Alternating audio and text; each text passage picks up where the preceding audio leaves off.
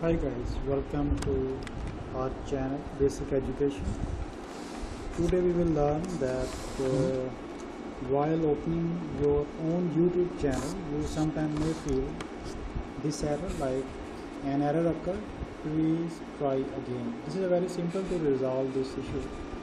Actually, you have to just click on the my channel up to 5 to 10 times and it may be open before this these number of attempts like we are going to attempt the first time